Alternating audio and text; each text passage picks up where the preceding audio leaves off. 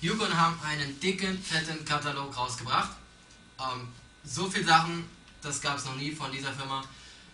Keine Ahnung, Hüte, äh, Schal, alles mögliche auf jeden Fall. Und ähm, Jochen wollte eigentlich die Sachen schön hier vorstellen, kann aber leider nicht hier sein. Deswegen schalten wir einfach mal kurz rüber zu Jochen und fragen ihn gleich mal, was eigentlich mit Yukon jetzt Sache ist. So, die Leitung steht. Hey Jochen, alles klar bei dir? Ah, Benny, du bist es. Ja, alles klar. Und bei dir? Schieß los mit deinen Fragen. Die aktuelle Kollektion ist ja auf jeden Fall die größte Kollektion, die ihr jemals rausgebracht habt. Also jedes einzelne Teil ist mit äh, Liebe zum Detail auch äh, erschaffen worden und ähm, da habt ihr lange dran gearbeitet. Wann sind die Sachen denn jetzt mal endlich zu bekommen? Also, ähm, die Kollektion wird circa in zwei Wochen kommen. Also wir werden sie nächste Woche verpacken und dann dauert es noch circa eine Woche, bis es im Shop ist. Und ja, es ist auf jeden Fall die größte Line, die wir bisher gemacht haben. Es sind über 70 Teile sind's insgesamt. Und ja, wenn ihr das in den nächsten zwei Wochen auch noch vorordert, bekommt ihr diesen Katalog gratis mit dazu. Und ja, macht es einfach. Wenn ich mir die aktuelle Line angucke, dann kann es ja auf keinen Fall sein, dass die Einflüsse, die auf Yukon wirken, so alleine aus dem Sportbereich kommen. Das, man sieht ja schon zum Beispiel mit der New Wave Jacket, dass da ganz woanders her auch der Einfluss kommen muss. Ist Yukon eine Marke, die man irgendwie für jeden Zweck tragen kann, also die 24-7-Marke sozusagen und nicht nur zum Skaten gedacht? Ja, also äh, heiraten würde ich vielleicht nicht unbedingt gerade in den Klamotten, aber es ist schon so, dass wir versuchen, ja, Klamotten für jeden Anlass anzubieten. Also das heißt nicht nur jetzt so speziell Skate-Klamotten zu machen, sondern einfach ja zum Weggehen und einfach verschiedene Styles anbieten, breitere Sachen, engere Sachen und ja, es ist einfach eine große Vielfalt dieses Jahr drin. Es ist die, Jona hat eine neue Line, die Silhouette-Line, etwas mehr Körper betont und es gibt wieder eine neue Frauenline, ziemlich große dieses Jahr. Und ja, es ist einfach, ich denke mal, für jeden was dabei. Ich denke auch, also da sollte für jeden was dabei sein. Trotzdem, ich meine, im Extremsport, die Marken, die kommen und gehen. Was lässt euch von Yukon glauben, dass ihr in PinTV Folge 100 immer noch dabei seid und wir immer noch von euch berichten können. Folge 100, das wäre in, in genau 1,92 Jahren, was einem Jahr und elf Monate entspricht. Hoffe ich doch sehr schwer, dass wir immer noch über Yukon reden, weil ja, wir jetzt mittlerweile auch schon fünfeinhalb Jahre äh, Yukon machen und das wohl, glaube ich, schon bewiesen haben, dass wir es relativ ernst meinen und dass es uns halt auch sehr viel Spaß macht und wir bestimmt in nächster Zeit nicht aufhören möchten und wollen.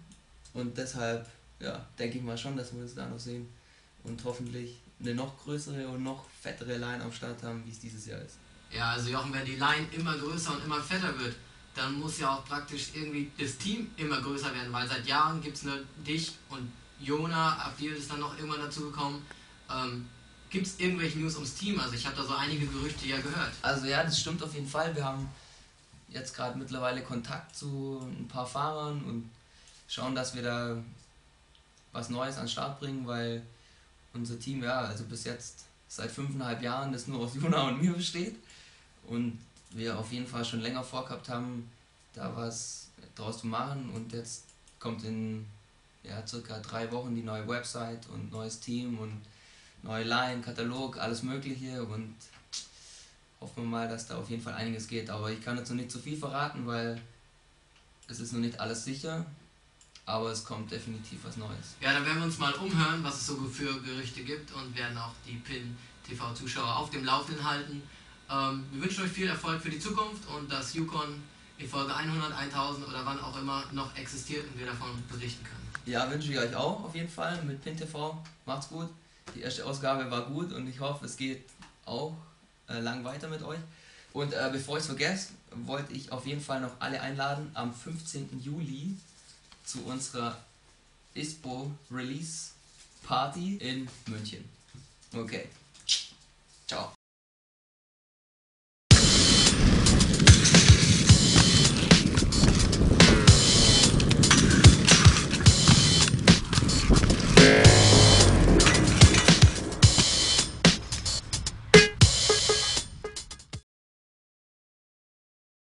Wir kommen jetzt zu den Web-News und starten voll durch. Und zwar haben wir bei rack5.com sowie bei razorskate.com ähm, Neues in Sachen Team. Da hat sich super viel getan in Team-Sessionen. Ähm, Ihr könnt ja einfach mal durchklicken.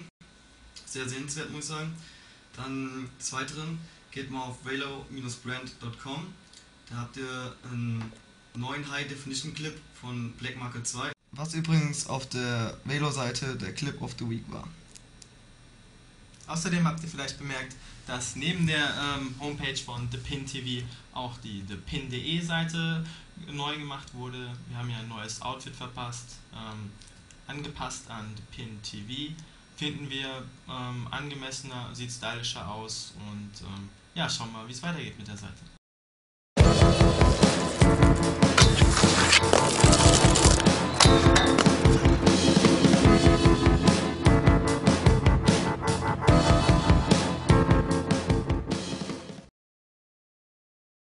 So, hier sind wir wieder in der Games-Ecke. Die mobilen Spiele warten auf uns. Wir haben nicht mehr so viel Zeit, deswegen machen wir die Games jetzt im Schnelldurchlauf. Ähm, da haben wir so einige Prachtexemplare, zum Beispiel Resident Evil Deadly Silence für den Nintendo DS jetzt zu haben. Ähm, saugeile Umsetzung von dem PlayStation 1 Spiel von damals, hat Multiplayer-Modus, kann man zusammen spielen, nicht online, aber trotzdem mit ähm, zwei Modulen. Dann Tetris DS, sehr geil. Man denkt schon wieder Tetris, langweilig, ist aber nicht so, denn da sind die ganzen Lieder von den ganzen Oldschool Nintendo-Spielen mit drauf. Und auch äh, so einen kleinen Mario sieht man oben hüpfen und man kann es im Internet zocken. Also in zwei Sekunden ist man mit dem Netz verbunden und zockt das Teil wireless gegen andere Leute im Internet. Genauso wie Metroid Prime Hunters, super cool.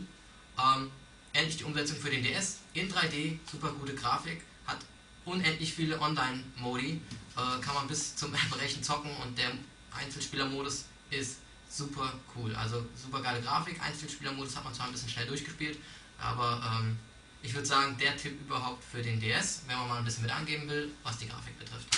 Und äh, noch als allerletztes, Trauma Center, Under the Knife, ähm, ist so ein Operationsspiel, äh, muss man nicht mögen. Ich finde es ziemlich cool, weil man mit dem Stift äh, Operationen durchführen kann, wird aber, finde ich, auch sehr schnell sehr schwer. Also man muss ein bisschen ehrgeizig sein, ansonsten macht es echt Spaß, wenn man dann irgendwie äh, Wunden nähen kann oder eben auch äh, verarztet und dazwischen gibt es noch so kleine Handlungsstränge mit den äh, Krankenschwestern.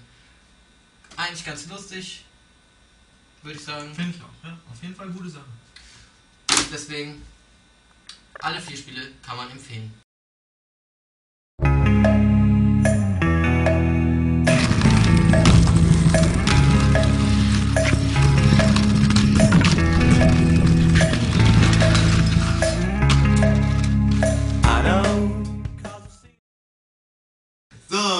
Gewinnspiel. Zum Gewinnen gibt es diesmal eine LOM-DVD. Aber nur, wenn ihr uns folgende Frage beantworten könnt. Für welche Wheel Company fährt Adil Fahuni? Eventuell äh, gibt es Tipps in der letzten Ausgabe von PinTV oder ansonsten guckt euch doch mal gerade an, was der Andi drüben so treibt. Und für die nächste Folge haben wir ein kleines Stigma-Special vorbereitet, wo wir schon einen Haufen Stuff für euch vorbereitet haben. Also, schaltet wieder ein, das heißt PinTV.